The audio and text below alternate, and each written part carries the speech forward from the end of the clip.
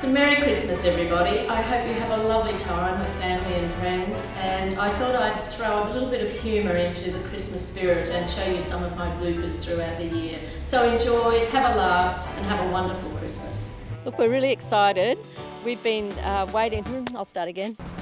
Hodgson, Hodgson Vale. I'm not going to remember that. You can tell, can't you?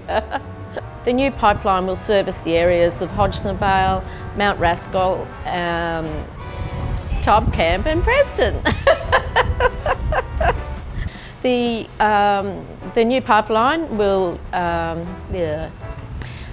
Following the adoption of the strategic uh, waste is very strategically economic. No, I've got to say that all again now. Anna. I've been to so many, I don't think I should say that. Quite easy, I shouldn't turn around, should I? No. Brings nature to the camera.